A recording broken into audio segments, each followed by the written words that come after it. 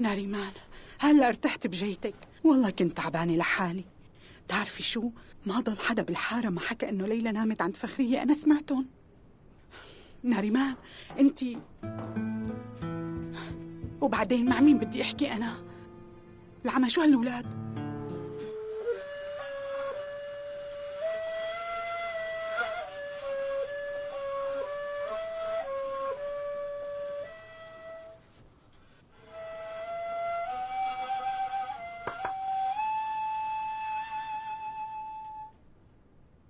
حلوة كتير بابا. انت رح تضل زعلان مني مطول؟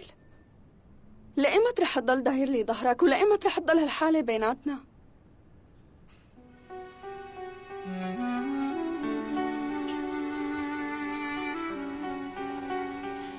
ناريمان بدي إياكي بنتي ممكن؟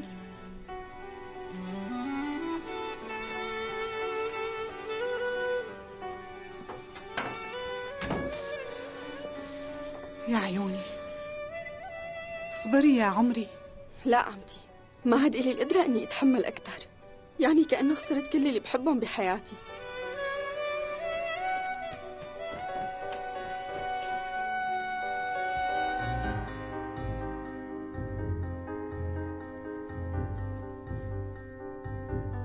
ماجد خطبت لنيفين خلص بس لفترة. كل شي بده يتصلح. أنا بشو أحلف لك إنه رح ساوي كل اللي بقدر عليه لأخلص من هالمصيبة.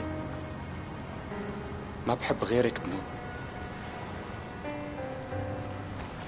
ما بدي مستقبل أنت مانك موجودة فيه ناريمان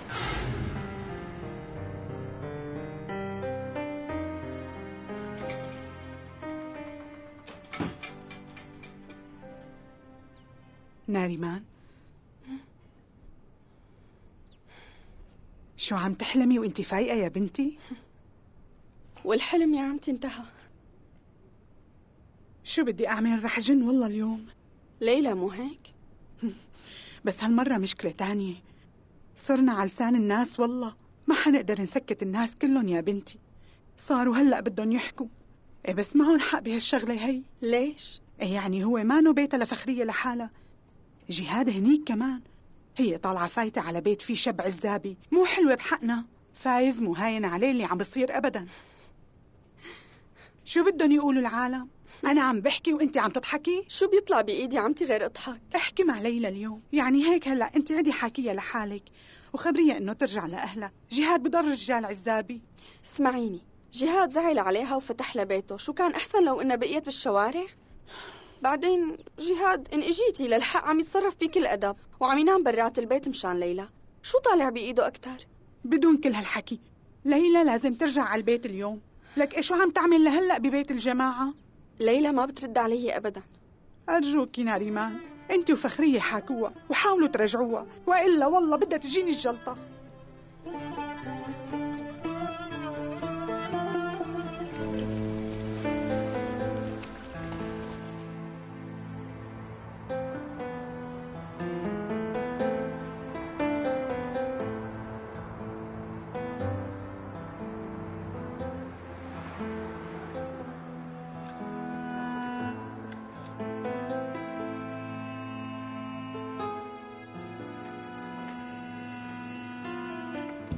أخي.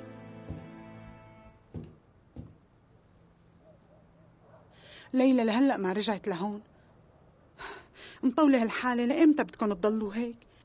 عاجبك بنت أختك عايشة ببيت عالم غرب؟ هيك لحالها كأنها يتيمة ومقطوعة من شجرة؟ أنا ما قلعت بنوب من البيت نوران. أنا بابي للكل مشرع. فيها ترجع إمتى ما بدها. بس لازم تعرف إنه في قوانين بهالبيت وما تتجاوزها. أوف اسكت بقى. أنا واقعة بين نارين يا فايز. ما حدا مفكر فيني. إنه بعد كل هالسنين لقيت بنتي قدام عيوني. فجأة لاقيها عم بتبعد عني. الغرب ياخدوها. ليش يا فايز؟ ليش؟ ليلى عندها عادة إنها تقرر من راسها وهي مشكلة نوران هي ما بتسمع كلمة حدا ولا بترد على أي حدا بنوب وبتعرفيها. ليلى إذا كان راحت أكيد بتكون عملت اللي براسها. كانت مستنية فرصة من شان تروح. اللي صار عملته حجة لتهرب. جربي قابليها. يلا حاولي تقنعيها وحتى أنا بجرب. ومنشوف إنه ما بترجع. بدك تتحملي هلا. واتركيها لحالها فترة.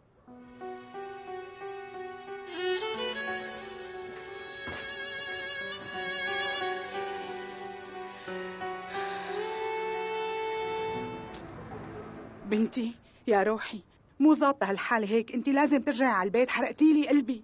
آه. لا أمي بنوب. شلون ممكن أرجع على بيت فايز بيك لحتى يضل منرفزني بكلامه؟ العالم كلهم هلا عم بيحكوا علينا وأنتم مو دريانين. ليلى شوفي بالآخر انت ما فيكي تضلي ببيت حدا عزابي. جهاد أخي اللي عم تقصديه؟ مين هدول اللي عم يحكوا؟ خلي يجوا يحكوا قدامي لشوف نوران خانو. يعني عم يحكوا عليها. بس لأنه هالبنت عم تنام عندي. وأخي يا حسرتي عم ينام بالدكان هيك بحاله بحاله مثل المشردين. يعني وصلت الصورة مزبوط؟ والله شي بيضحك يا خانو أخي يا عيني رجال طول بعرض. وإذا بتحطي عشر كراسي سوا يعني يا دوب يوسعوا رجليه وهالمسكين بيحاول ينام بس مو ممكن لأنه بطوله وبعرضه ما في شي بيوسعه. أنت شو عم تحكي؟ يلي بيسمع حكيك بيفكر إنه أخوك شغلة كبيرة أو عملاق. والله إذا كان عملاق ما بعرف بقى بس هو قبضاي وسبع كمان. وبفضله هلا أنت قاعدة ببيت دافي وأخذة راحتك ومرتاحة على الآخر ببيته اليوم. خالي نوران بسرعة حاولوا تحلوا مشكلتكم بقى ولا تذكروا اسم أخي بهالقصص تبعكم والمشاكل. يا الله معقول أهل الحارة عم يحكوا على زلمة عم يعمل بأصله بهي الطريقة؟ إيه قطع لسانه اللي بده يجيب سيرته هيك. لك فخرية شو اللي عم بصير معك؟ اسكتي بقى يا. أنا اللي فيني مكفيني يا الله دخيلك. ليلى بنتي حاسة إنه الكل بموقف حرج وبيت خالك مفتوح ما بيجوز تضلي هون دخيلك ارجعي على البيت اليوم كرمالي يا بنتي.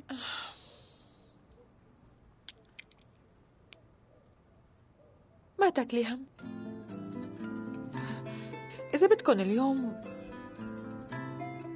برجع بس بشرط ما حدا يتدخل فيني. إي ولي طول العمر رح تضلي عندي. ومعقول هالحكي يا ليلى يا أمي؟ آه لك قديش صار عمري أنا هلأ؟ لسه تطلبوا تقرير مفصل كل يوم مني. طيب يا بنتي ما عاد نطلب هذا التقرير اللي حكيتي عنه؟ ليكي بدي فايز بيك يحل عني لأنه ما عاد أتحمل هو متشدد.